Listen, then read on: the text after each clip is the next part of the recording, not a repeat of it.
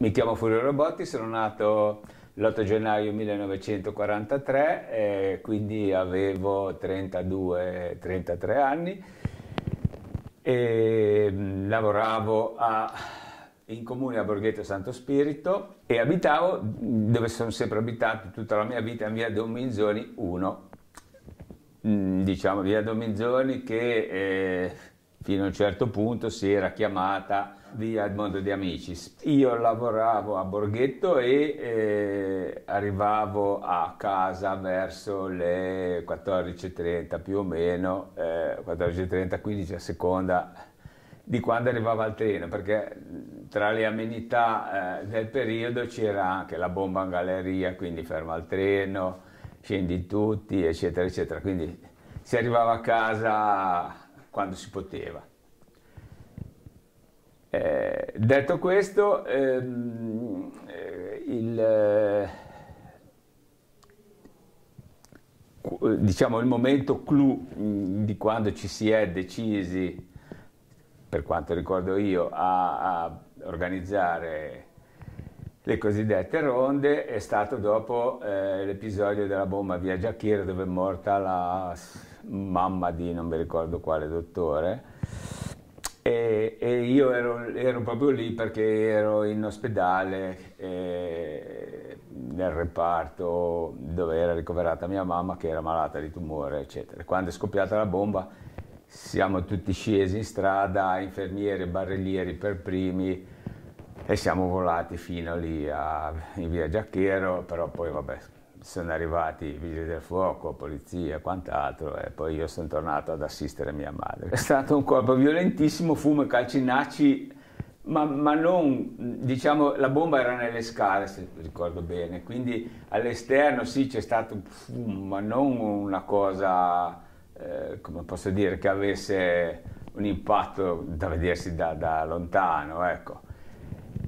E, e niente, quindi di questo si è trattato. Eh, a quel punto lì e dopo, e dopo, tutta quella serie di episodi che c'erano stati, i comitati di quartiere avevano cominciato a, eh, a, a dire che eh, per poter vivere, eh, come posso dire, senza l'angoscia di andare a prendere tuo figlio Casino dall'asilo eh, che rimaniva ucciso dalla bomba, dovevamo darci un sistema di difesa ci, ci, cittadino e civile, anche perché le mh, forze dell'ordine apparivano, come posso dire, al di, molto al di sotto eh, delle necessità e dei risultati effettivi. E quindi, eh, come posso dire, la voce che correva tra eh, tra di noi era eh, tiriamoci sulle maniche e vediamo che cosa possiamo fare. Quando le, eh, i comitati di quartiere hanno chiesto la disponibilità eh, dei cittadini a partecipare a, alle ronde, eh, io ho, ho, immediatamente detto di sì, eh, non ricordo come ero stato contattato, ma a quel punto lì ci, ci si, come posso dire, i, i, miei, i, cittadini del quartiere si conoscevano perlomeno di vista quasi tutti, non c'era la situazione che oggi sarebbe parecchio più difficile. E allora eh, un po' col passaparola e un po' con questo coordinamento che poteva essere presso la sede del PC lì via Lieto o non ricordo dove fosse la eh, sede del comitato di quartiere della circoscrizione. La circoscrizione non c'erano ancora, comitato di quartiere. E ci si è visti un bel momento, ma tutto questo è successo in, in un breve periodo di tempo. E, mm, si sono organizzati dei percorsi e delle eh, e delle zone di eh, controllo eh, che eh, avevano come confine eh, il quartiere perché ciascuno di noi doveva essere del quartiere persona conosciuta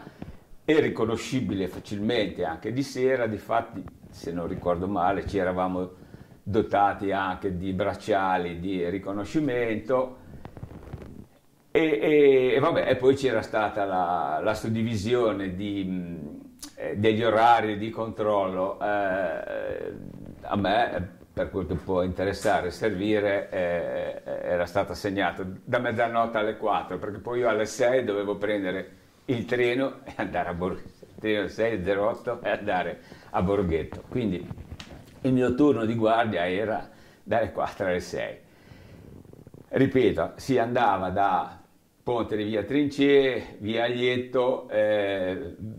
via Folconi, vicolo Frugoni dove c'era la scuola, l'asilo, la scuola elementare, mi ricordo, comunque un istituto scolastico,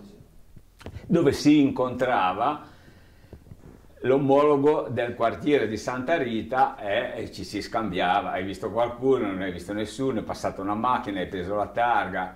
eh, diciamo che l'attività era questa, devo dire che da mezzanotte alle 4 eh, il rumore di una macchina si sentiva a distanza e, e avevamo tutte le antenne abbastanza, eh, come posso dire, attente. Ecco. La cosa che eh, ci era stata eh, dire, suggerita ma anche imposta era che dovevamo essere assolutamente eh, disarmati e, e l'unica cosa che avevamo era matita e blocchetto per segnare i numeri di targa delle macchine che circolavano, eh, con, eh, eh con l'impegno di, ehm, di, immediatamente segnalarli e alla polizia se c'era qualche macchina della polizia che girava, se no al comitato di quartiere che telefonicamente avrebbe avvertito la, le forze dell'ordine. Eh, qualche rara volta,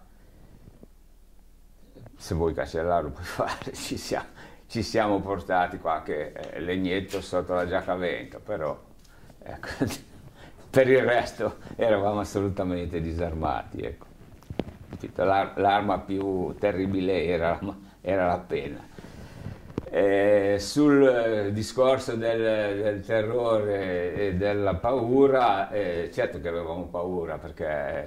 uno che viene per mettere una bomba non viene certo né disarmato né sprovveduto, quindi era evidente che qualunque cosa potessimo mettere in campo noi era sempre al di sotto di quello che avrebbe potuto essere il nostro avversario, il nostro nemico. Ecco. E quindi eh, l'obiettivo e la, e la, difesa consisteva nella segnalazione immediata, eh, come ho detto, al comitato di quartiere e o alle forze dell'ordine, con qualche, con qualche timore perché, eh, rispetto a questa seconda ipotesi, perché non si sapeva bene mai se la, l'auto era un'auto civetta o se cioè, sulle auto diciamo co, con le insegne della polizia e dei carabinieri non c'era problema ma sapevamo che c'erano anche auto civette che giravano e su quelle avevamo abbastanza paura perché eh, poteva essere un'auto civetta ma poteva anche non esserla ecco. in quel momento lì secondo me c'era una coesione cioè, un, un po' c'erano ancora eh, abbastanza vivi i ricordi della resistenza e personaggi che hanno partecipato alla resistenza ancora vivi. Direi che in quasi tutti noi era evidente che la matrice era una matrice nera, eh, eterodiretta o, o, non eterodiretta, ma eh, le bombe arrivavano di lì e non ci dovevamo preoccupare né di Pinelli né di eh, Valpreda, ecco, quindi su questo avevamo tutte le idee, almeno quelli che erano in contatto con me avevano tutte le idee abbastanza chiare. Direi che il contesto odierno è anni luce lontano da, da quella realtà. Intanto perché io vedo che eh, il messaggio che per vent'anni è passato del, i morti sono tutti uguali, eh, i, i, i caduti della Repubblica di Salò sono come i caduti repubblicani, eh, partigiani, sono tutti morti vanno rispettati, sì, per l'amor di Dio, tutti i morti vanno rispettati, però chi combatte per una causa di un certo tipo e chi combatte per una certa altra dobbiamo distinguerlo perché sennò perdiamo di vista il bene dell'intelletto ecco, e le ragioni della vita. Vedo che questo, vent'anni di questa, di questa, come posso dire, miscela devastante, psicologica e politica, ha prodotto danni ed emergenze fasciste pesantemente rilevanti ed emergenti sempre di più e quindi direi che una situazione come quella là mette male a ripeterla. La cosa più, più complessa per motivi familiari, di, familiari e lavorativi di ciascuno di noi era trovare una possibilità di copertura totale da, dalla sera al mattino eh, eh, eh dividendoci orari ris- rispetto alle mie, ah, cioè alle mie, scusate, alle rispettive, eh, ai rispettivi impegni di lavoro e ai rispettivi orari. Quindi la cosa più difficile era eh, incastrare le persone, possibilmente, eh, come dicevamo prima, quasi sempre le stesse coppie perché ci si conosceva, con orari e con, eh, con possibilità di continu- assoluta di continuità. Ecco quell'esperienza lì per un periodo di tempo eh, relativamente lungo è servita a, ad amalgamare, come posso dire, le forze democratiche del, della città. Col finire della, della strategia della tensione e cominciamo a parlare, che so io, di periodo di, di Craxi e, e ha cominciato a evolvere in, in assai peggio, ecco. ed è stato un crescendo di peggio, per, nella valutazione che ne do io. Ecco. Si è persa eh, un po' per, come posso dire, un po' per fattori anagrafici, perché dicevo prima, 74 e eravamo a 19 anni dalla fine della guerra, partigiani vivi, ce n'era ancora assai, ecco, e, e non ci dobbiamo nascondere che eh, il partito comunista è stato abbastanza, se, per un periodo abbastanza lungo, abbastanza egemone e, e abbastanza, posso dire, per come li ho conosciuti, abbastanza reattivo su questo genere, eh, su questo genere di problematiche e di necessità di intervento. Ecco. Dopodiché ah, in, in, tutte, in, tutte, le parrocchie di tutto l'arco costituzionale il, il, discorso ha cominciato a, a sfaldarsi, a, a perdere tensione dei valori ideali e della resistenza e a mio parere anche della vita.